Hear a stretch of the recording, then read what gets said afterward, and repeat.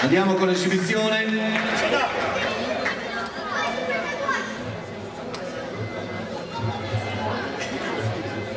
Ricordo che a bordo ring c'è il cameraman di Teleradio Città, Marco Mendola, che riprende le fasi salienti della serata. Prego.